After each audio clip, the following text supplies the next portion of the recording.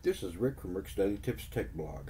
Today I'm going to share a little tip that'll prevent Windows 11 from changing your default printer to the printer you used last if you have two printers connected to your PC. I have both a laser printer and an inkjet, and I prefer using the laser printer for the vast majority of my print jobs. I do use the inkjet on occasion, but I don't want Windows 11 to make it the default printer every time I use it. Luckily, it's very easy to change a setting in Windows 11 that'll prevent the default printer from being changed just because I used a different printer for one print job. First, right click on the start button, then click settings. In the left hand pane, click Bluetooth and devices.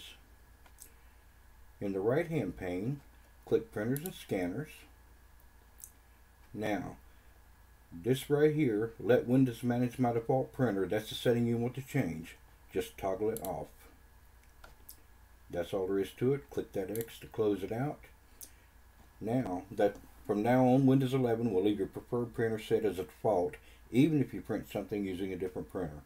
If you found this tip useful, I'd appreciate it if you click the like button. And feel free to subscribe to my channel for more practical tech tips. Thanks and have a great day.